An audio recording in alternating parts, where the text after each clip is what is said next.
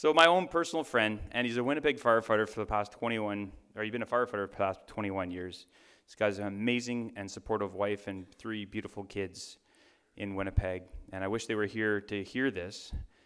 But uh, this guy has been, he, he epitomizes what a member of the fire service should be, is making it better than he found it when it started. He's involved with the Burn Foundation. He's a fireground and uh, survival instructor. And I know how many people have come up to me and said, I've heard Lionel's story, I've seen him present. He's a genuine human being. And he's making the fire service better with him sharing his story, being vulnerable, and his resilience in great adversity. This guy, if you haven't heard his story, he's been through a lot of stuff, and he's a shining light for so many. So I'm, it is my honor and privilege to have you come up and be our keynote speaker today. Come on up, Lionel.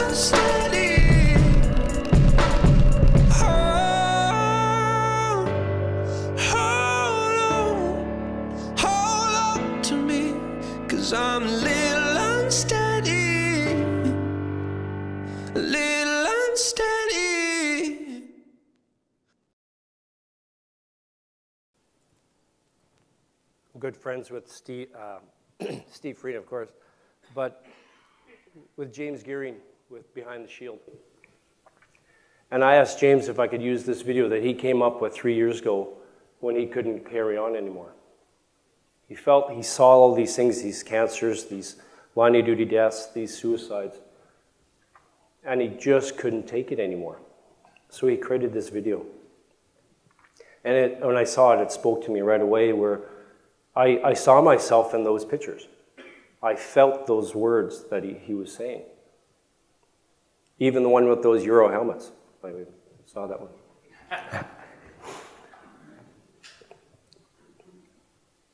Which took me to this journey that we've been on, and it's we.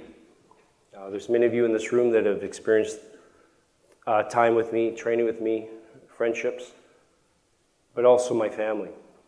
My wife Joanna, my, my two boys Noah and Nathan, and little Madison, our little girl.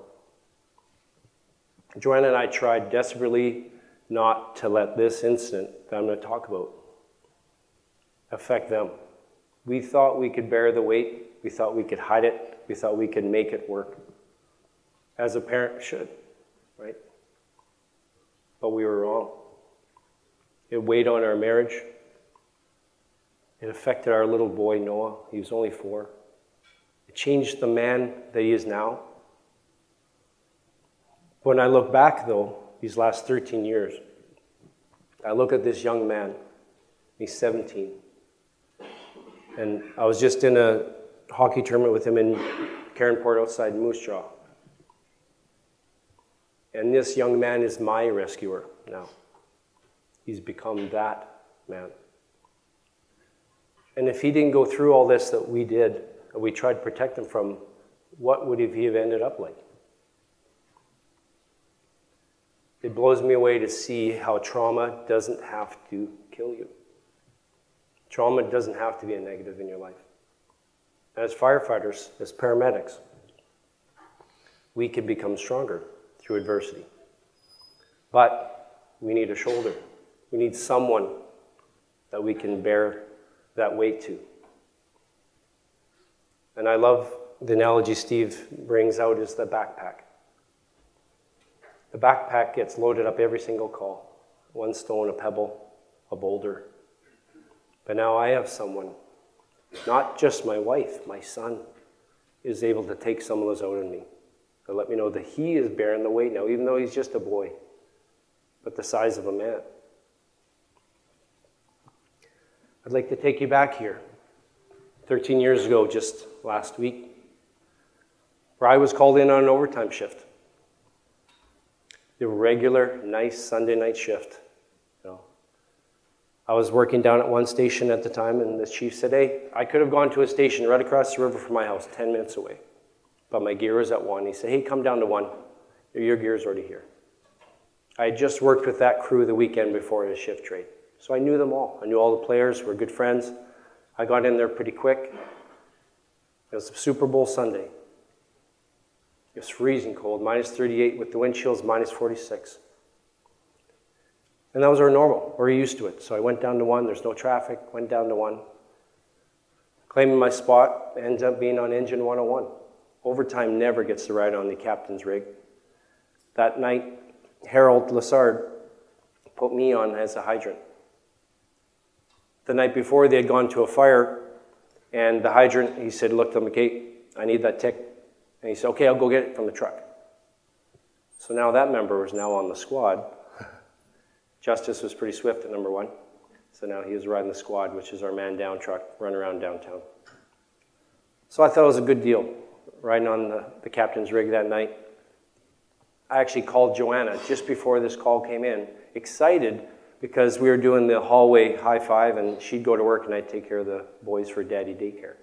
You know? And I said, hey, I'm on the engine. I'm not going to get hammered all night. You know, on overtime, you still got to do the floor watch and throw in 20 bucks, but it's still worth it. You know, we're a young family, time and a half, double time, it all comes in at a need. Call came in right after I got off the phone with Joanna. Telephone alarm, garage fire, attached house. So we're, we're going in, going to go away pretty quick. Second in machine, uh, second in district across from uh, St. Boniface. We had to go across the bridge.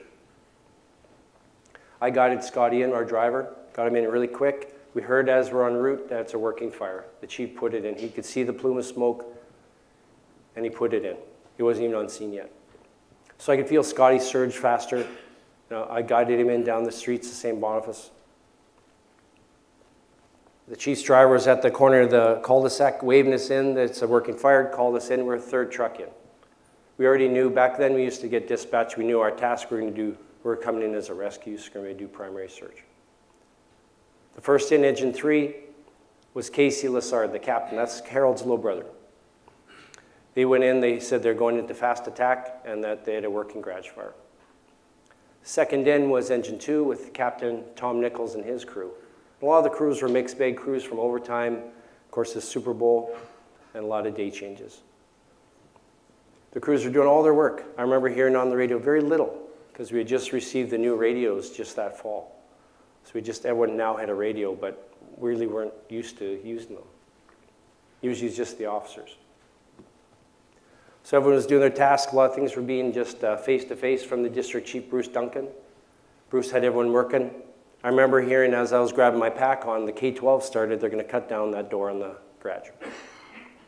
Lines were being flaked out, as you can see on the driveway. All the crews were doing what they normally did. You know, you didn't have to be tasked and micromanaged and told what to do. Everyone knew their job.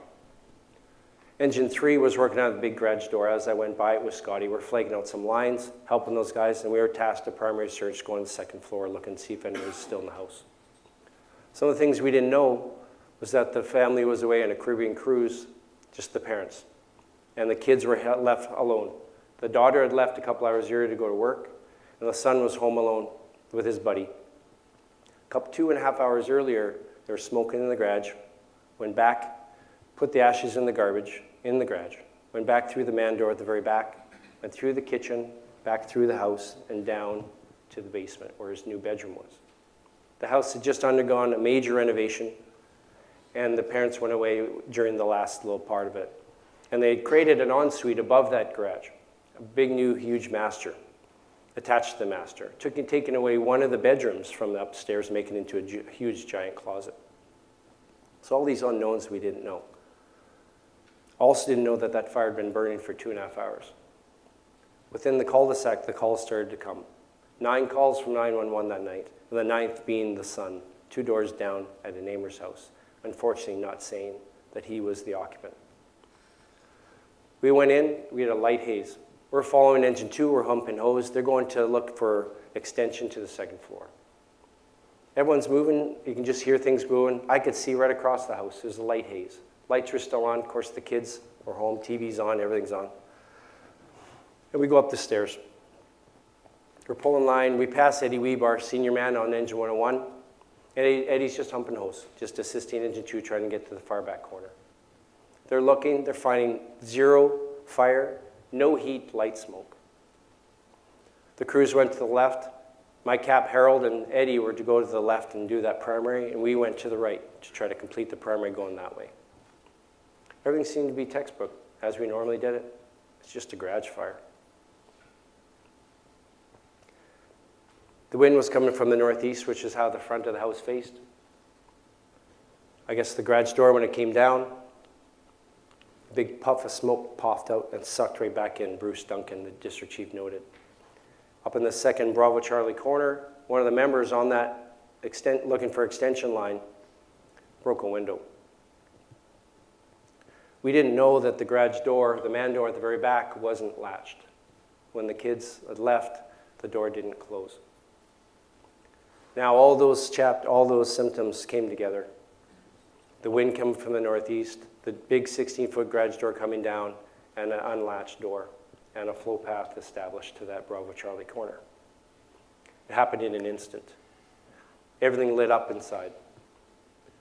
We were scrambling for our lives. Nothing on the radio, nothing at all. Back then in 2007, we didn't have a Mayday protocol. We didn't even have the term Mayday in any operating guidelines. We did primary search, we did fire attack, we did lots of RIT, but never self survival, never Mayday.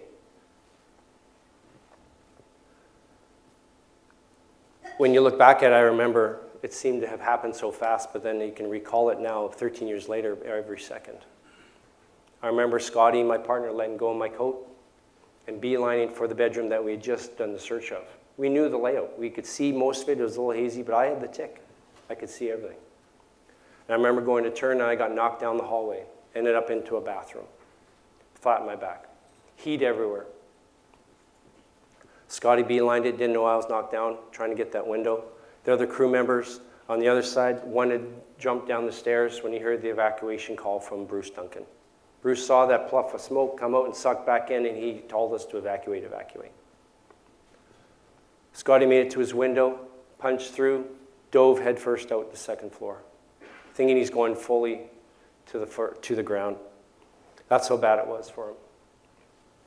He landed on the porch roof in about a foot of snow, luckily about a foot down, but started to slide. All our masks were caked with the incomplete combustion, that part, particulate, that carbon that, from that black fire, they called it, that occurred just before flashover. Scotty couldn't see, so luckily he caught himself on the rain gutter, didn't fall off the roof. He used the uh, ladder from the second means of egress ladder that was st- established, came down, walked over to Bruce, and said, Where's everybody? Scotty's thinking, because I didn't come out the window. Did they go down the stairs? Bruce didn't know all the things that happened, and right away he put in for the RIT team to come and get us. This is approximately four and a half minute mark after being on scene. Totally different house from what we had.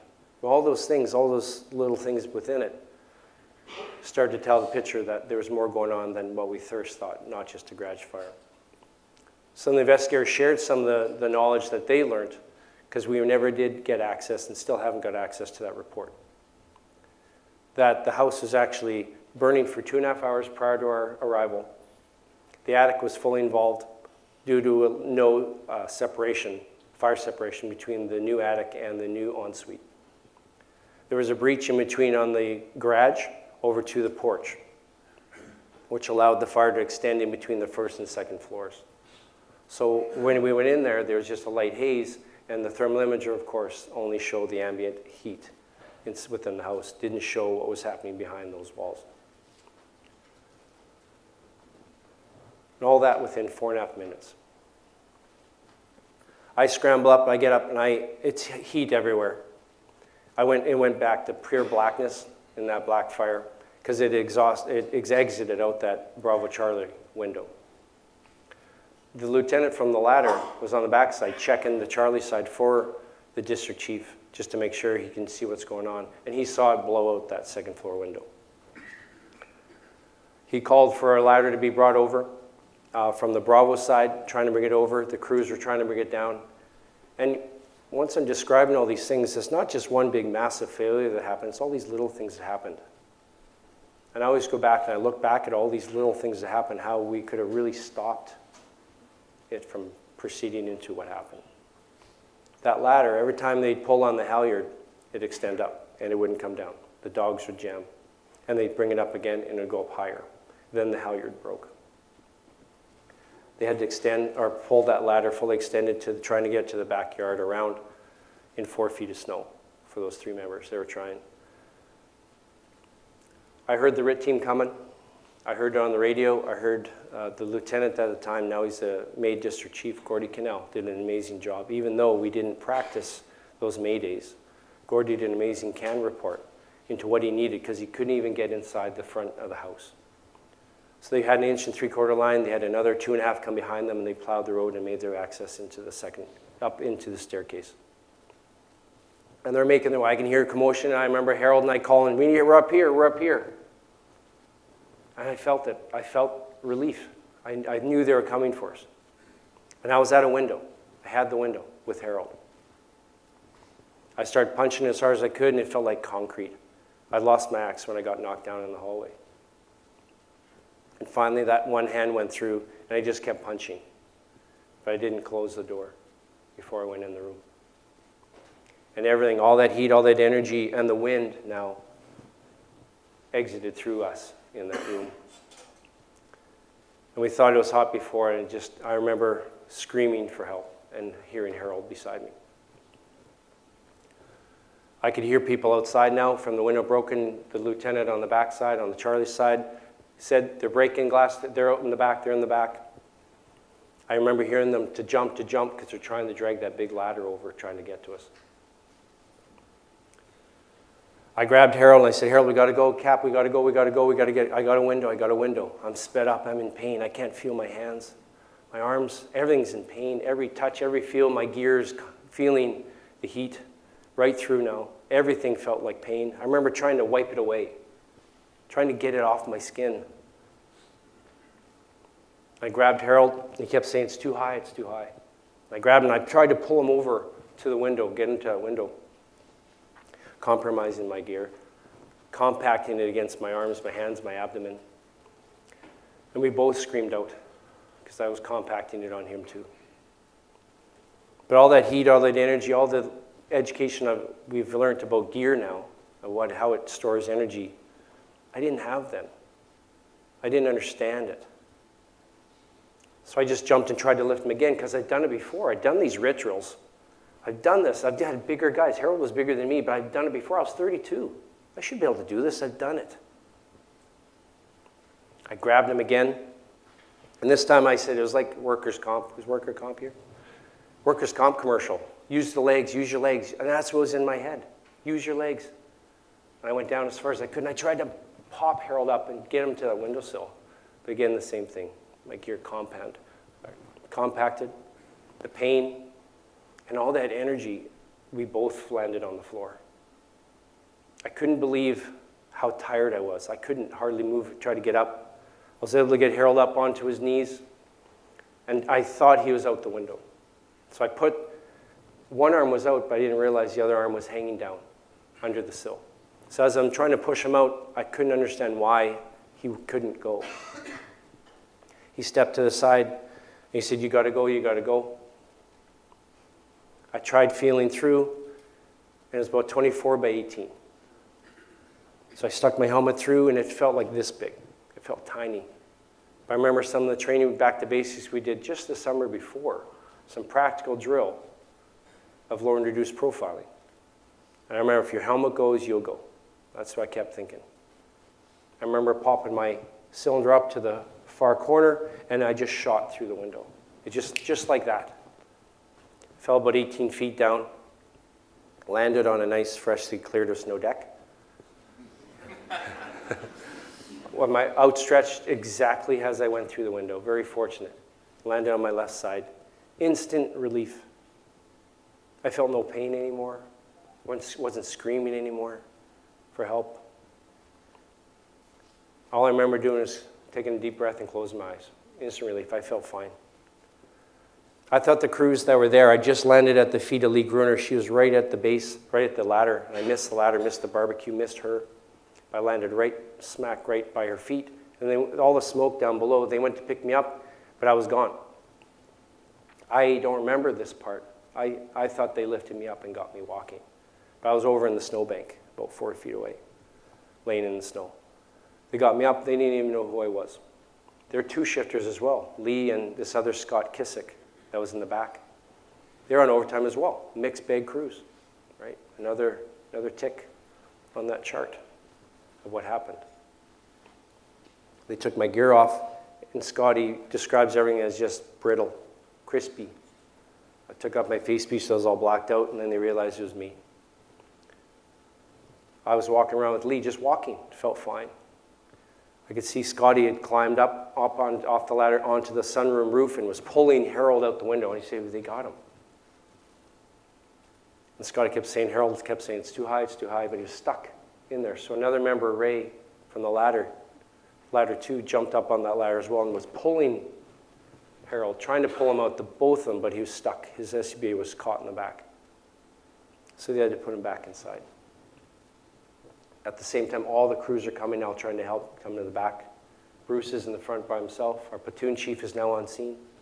He's in the back, butting the ladder, all trying to help Harold get out. I'm walking. I see Scotty, my, my partner, Scotty Atchison. I see him now. He comes up, gives me a big hug. He's like six eight, and then I, ooh, I feel my ribs. Gives me a big hug. He kept saying, "I thought you're out. I thought you're out." He was very emotional. He felt that guilt right away. He said. We walked together talking. Man, it went all those typical things we said. It happened so fast. It happened so fast. What happened? What happened to you? We're trying to compare. Why did it happen? Where did I go? How did we get separated? I didn't know.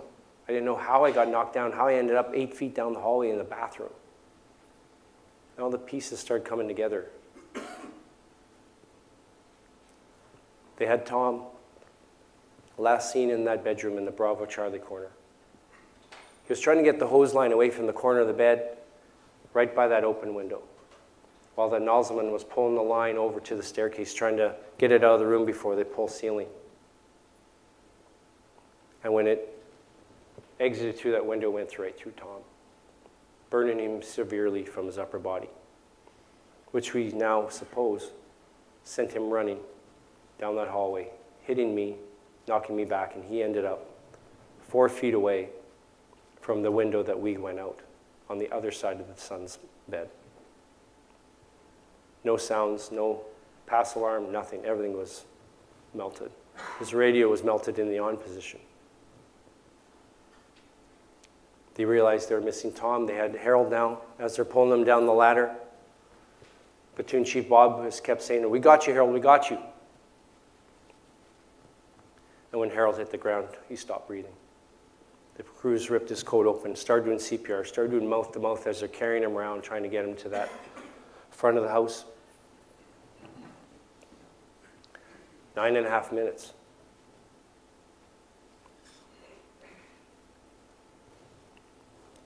Crews were desperately working on Harold, trying to get him to the cross street because the trucks took up the bay, trying to get that stretcher with Harold on it to that ambulance. The same time, I just got over to the ambulance and they took off my gloves where I realized I was burn injured. My hands degloved down to my wrists, my fingers were all black. I was taken in the ambulance and they laid me down with all that gear on. I remember the heat pumping because it was so cold. But all that heat, all that energy, even though I didn't feel it outside, it transferred. I compounded on my back, my legs, behind my arms, everything. It felt like I literally was on fire. All that heat, all that energy retained in the gear for that long while I was outside. And then when I laid down, it was instantly against my skin, and I was begging for help. Those paramedics were trying to get it off, but it was damaged, so they just cut everything off, took everything off, and uh, Lindsay's really a great little paramedic, and we were friends. Her boyfriend was a buddy of mine, and we worked out together. Lindsay's little girl same age as Noah. So we spent a lot of time together. And Lindsay was getting really upset seeing this of a, of a friend, a coworker. I remember because they took everything off. They said, oh, Lindsay, it's pretty cold out here. Really cute blonde. But, but then they had to take Lindsay out. Lindsay had to be taken out. She had to go into our MERV unit, and they brought in Dave Johnson to take care of me there. And I remember Dave was trying to get the drugs in, had to do a femoral line. And I'm en route. I don't know what's happening outside. I didn't know Harold was dying beside me. I saw them pulling him out, I thought, okay, going back to work. We're okay. We're going back. I didn't know that Tom was missing and that it that force blew right through Tom, burning through his throat, asphyxiating very quickly. But the crew did find him. The secondary went up there and they scanned, and they were supposed to go to the left, but then they scanned with that tick and they saw a boot to the right, which found him in the bedroom where we were, where we exited. They extricated him very quickly. And here are the crews. Scotty, my partner that night, doing mouth to mouth trying to save Tom. And sadly, Scotty still sees that face, the smell, the taste of Tom that he was a smoker. All those things are still there. It's 13 years. It's amazing how nine and a half minutes can change lives. I'm amazed how those few seconds and minutes changed my life and that of my family. But thankfully, I've had friends, and many of you are here in this room are those people that have helped me get from there to here. So many of you have given me so much. So I could be a father again, which is the most meaningful thing I think I can become. A husband again. Not just a, having a wife that became a caregiver. All those things happened because of those nine and a half minutes.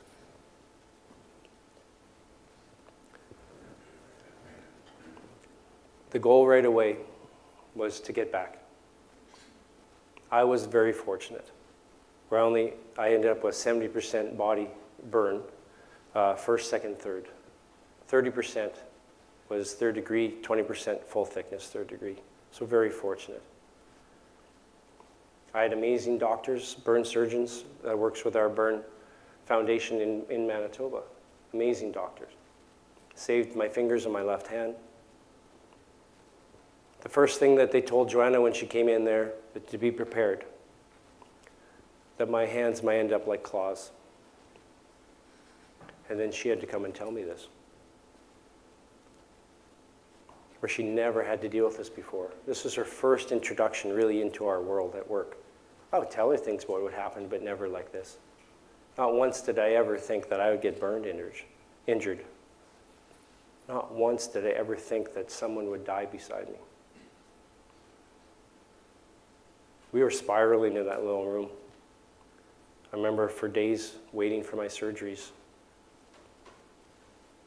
We didn't know what to expect. There's no manual for us to, okay, now you get a burn injury on the job. This is what you have to do, and this is how long you have to wait before you get back to work. This is the back to work process. There's nothing. Everything was guesswork. Everything was try. But the goal was this to get to get back on the truck, which at the time was enough motivation to do it. It was.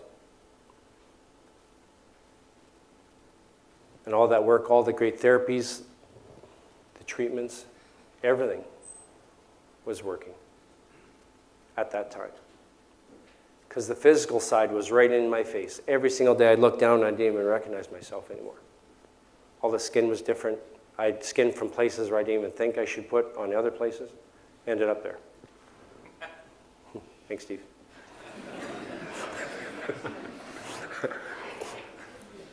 it's not scripted. No. but the motivation was not just to back to work, it was for those that I worked with. Many nights I'd be in that burn center, laying there with someone to talk to.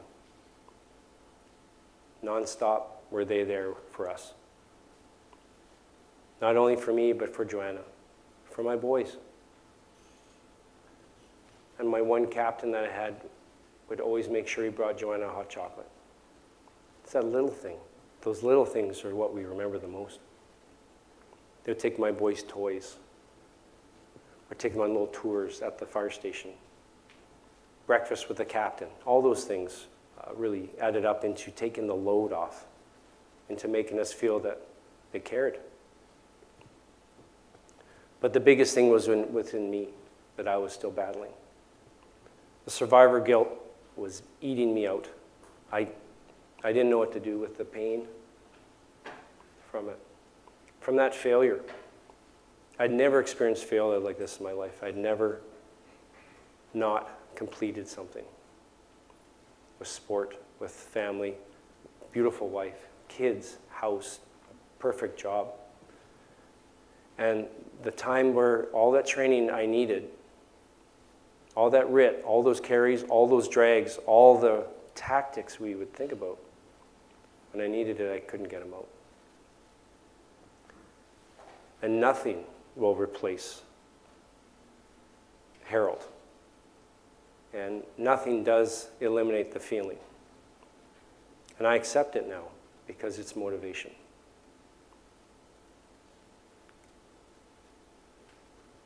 Losing him was. Uh, a real game changer for my life.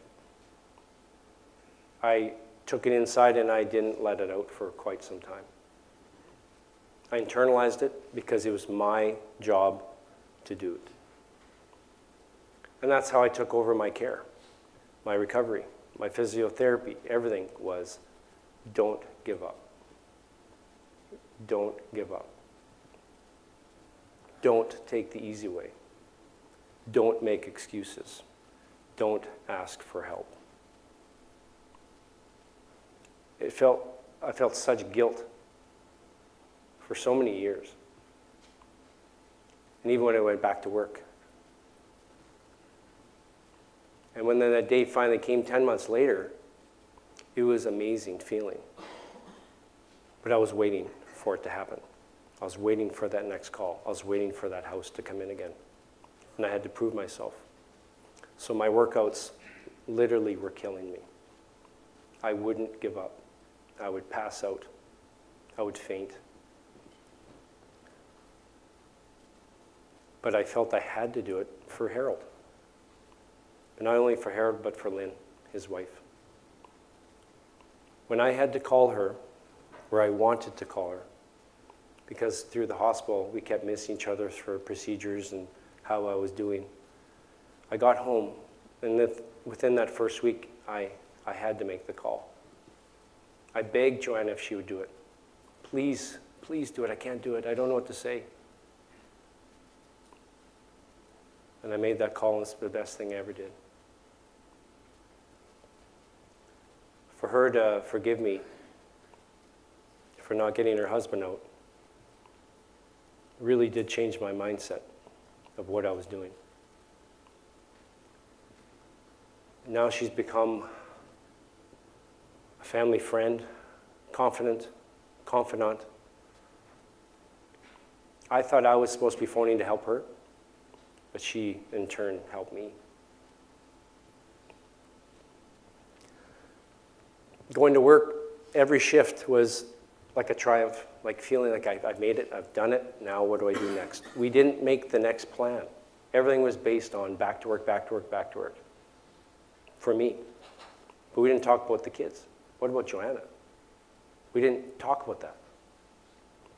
Not once did Joanna ever say, I'm afraid for you to go back. And every single time I would work nights, Noah, my little boy, now five, would sleep with mom. He didn't want to sleep in his big boy's bunk bed. He couldn't go to the basement anymore to play. He couldn't be left alone. But Joanna didn't want to let me know all this was happening because she didn't want me to feel guilty.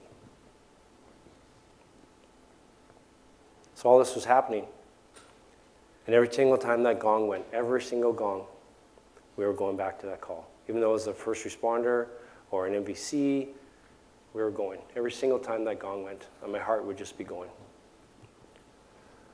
I could barely get that chest strap done up.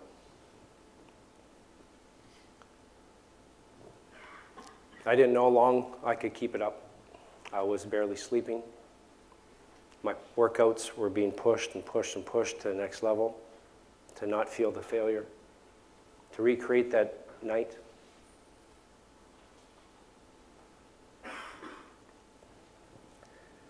And I thought we were coping at home until Joanna finally told me how she felt. All those things you see depression, marital stress, suicide, pride. I didn't want something else to go wrong. I didn't want to open up that next door. I felt good and strong. I said the mental side would come. But I was wrong. Fortunately, we were introduced to a trauma specialist, Dr. Bill Davis. They brought him in because Ed Weave, the other firefighter that was severely burnt, was really battling. So we were all going to go as a crew, the survivors that night, the four of us. We're going to take Ed as a crew to support him. By the end of that session, we all had appointments, all four of us, all five, sorry. And that's where it started. I finally started to unravel this onion and how deep it really went. Physically strong, but not confident. You know, it doesn't work. But I couldn't keep pushing like this, so I really had to start dealing with it, and I thought we had. We went to Dr. Davis a couple sessions, then he said, Now we're going to bring your wife in. And having to do the listening exercise with your wife is not as much fun as it sounds. But I found out all those things that Joanna was holding in, and, and she wasn't sleeping, and the boys were upset, and all these things that I didn't really know. Now I knew. But he gave us a plan, which we didn't have. We were just going day by day.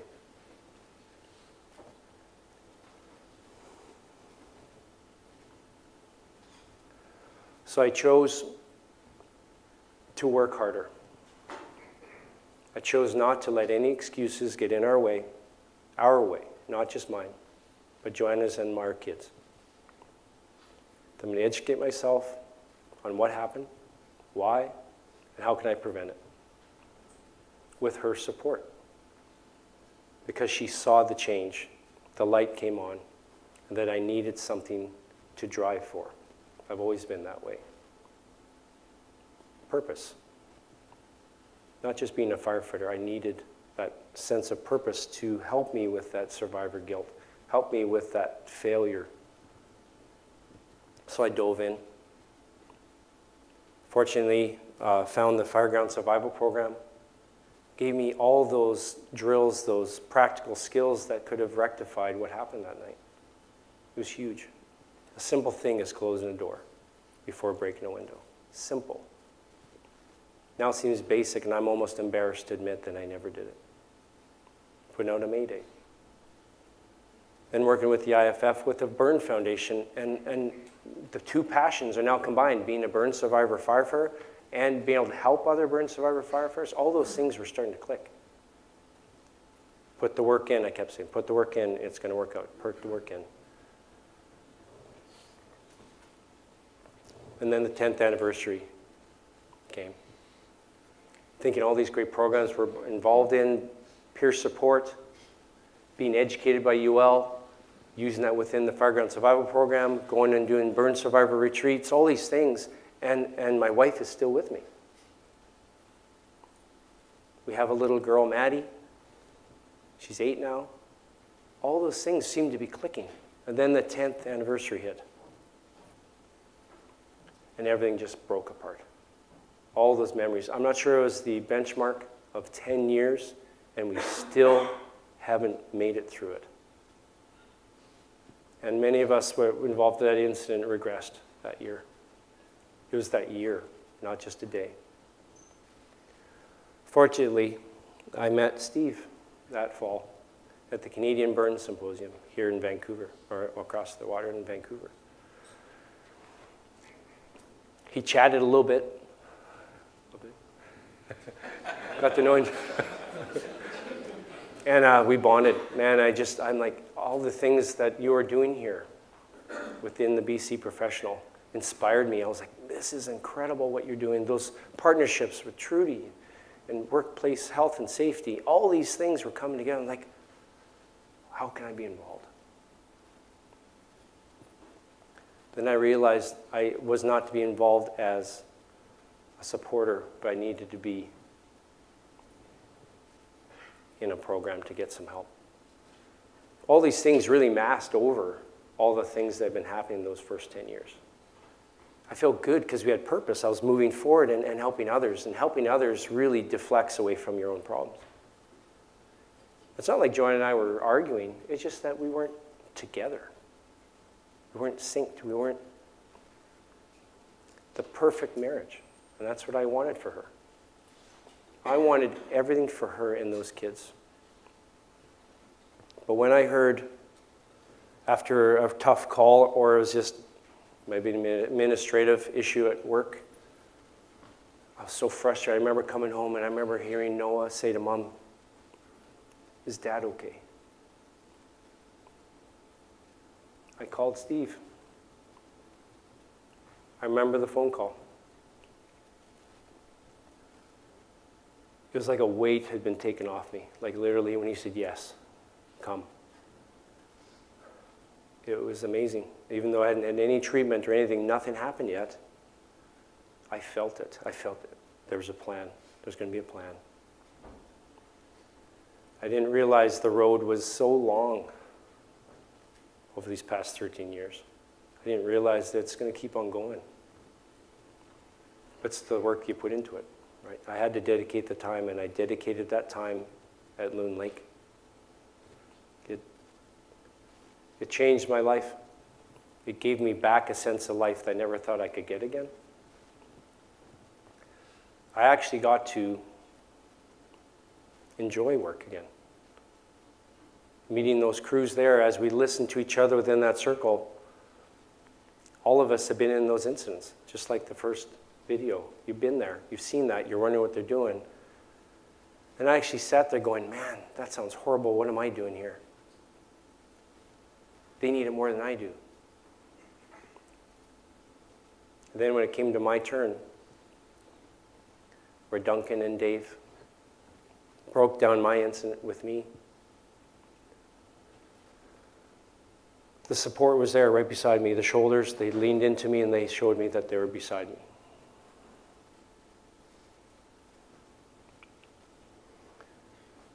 The steps of Loon Lake, you guys are going up from the lake. Basically, they were building a foundation for me, all those steps. Breathing, how to breathe again. Mindfulness. How to listen. All those. And all these steps led to Harold. That I had to forgive myself. And Dave, I remember Dr. Dave said, okay, Lionel, we're going to put you in a little situation, a little scenario, where Eric was my peer that, that week, and he was going to be your captain. And look at Eric, and I want you to see Harold. And then Dave said, with Harold here, what do you want to say to him? And all that came to mind was, I'm sorry. I'm so sorry I couldn't get you out. I'm so sorry you couldn't go home to Lynn. I'm so sorry you couldn't see Brian become a Winnipeg fireman, his son. You couldn't walk your daughter Chrissy down the aisle. All those things flooded my mind. And I finally got to release it. Especially when I came home and my kids got to see me. Me again. I was free of that backpack for that moment because it's always going to be ongoing. I always have to be looking at my backpack. How full is it? How much am I taking on? How much more can I take on? But how am I releasing it? How am I taking those boulders and stones out? But I literally felt free for that moment. And then my job now as an officer is to prevent it from happening again. Again, doing the work. Looking at that house, looking at that building, and reading it, not just for what I'm going to do strategy wise, but because of the people standing with me. So that I make sure they get home. They don't have to feel the failure that we did.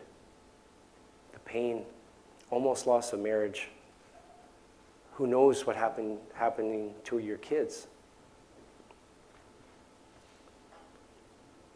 But it is an art. There really is an art of surviving. And I'd accept the fact that I did survive, and it was okay too. I didn't have to feel guilty that I made it.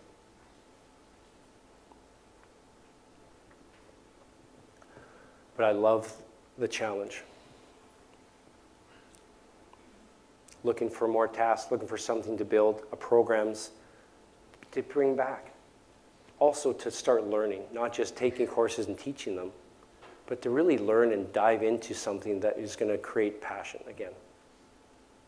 And that's where I jumped into the Leadership Academy from West Point and changed my mind because I learned about human behavior. Not just about the people around me, but how I was acting. And how I can really inflict change, not just for my department, and especially for the whole department. I had to accept the fact that now I just got to worry about my crew. And take off that big load of trying to change the department, make it better, trying to work and learn from this incident. No, just with your company. That's it.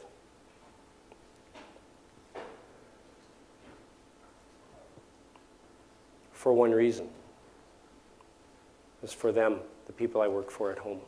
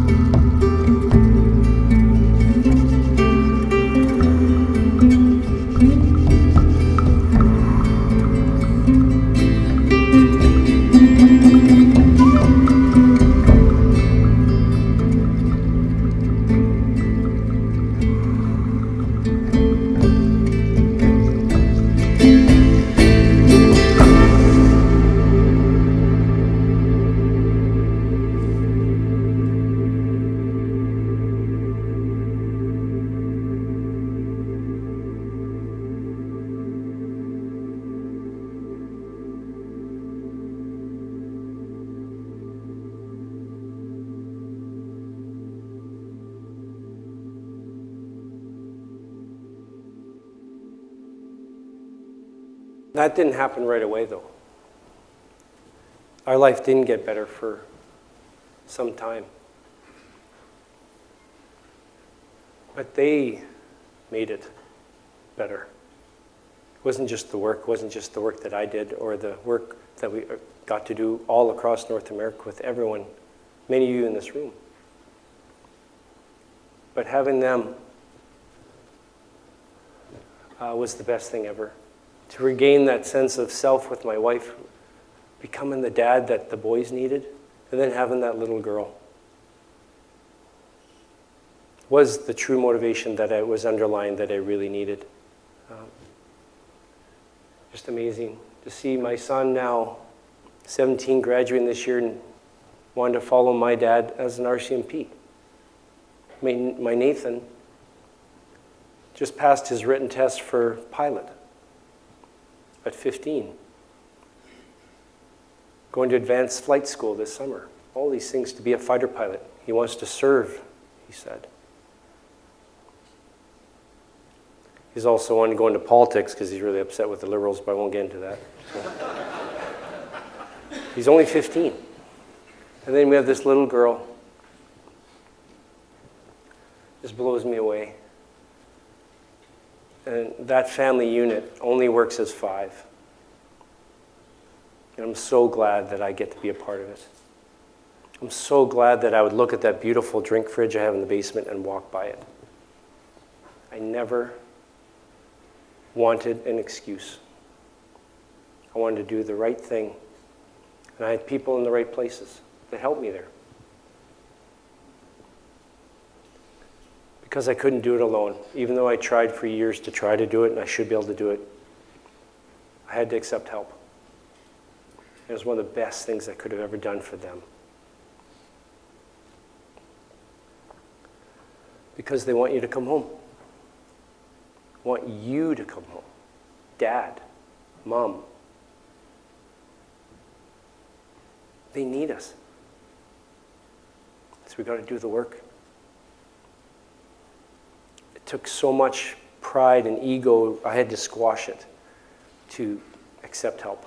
I didn't want one more thing, like I said, to go wrong. I didn't want to accept another diagnosis. Especially when I was diagnosed with post traumatic stress. One more thing. Oh, great. Now the guys are going to think I'm going to book off, right? I'm going to use it. Not everyone was supportive of me going back to work. I was told I had my 10 minutes of fame and now let's go back to work.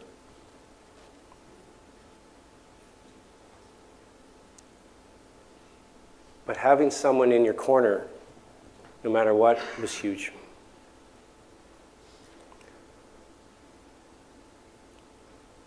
So I've tried, really tried hard to look at things in a different way with post-traumatic stress.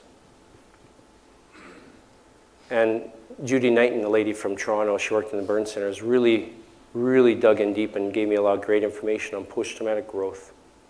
And I see it that way. If you want to let the trauma kill you, it will. It almost did for us. But we've chosen to look at and learn from it. Every obstacle I actually go after now and I get around it. Everything is achievable if you put the work in.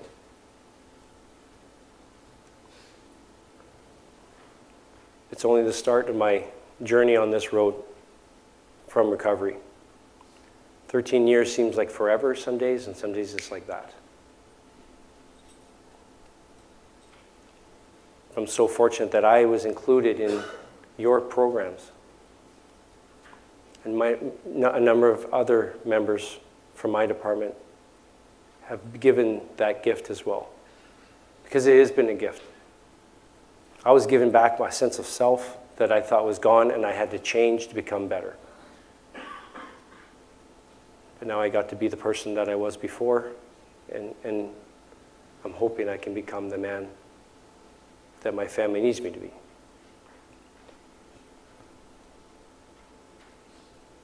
So within that, they're coining all these different phrases of resiliency. And how, what does that mean to you?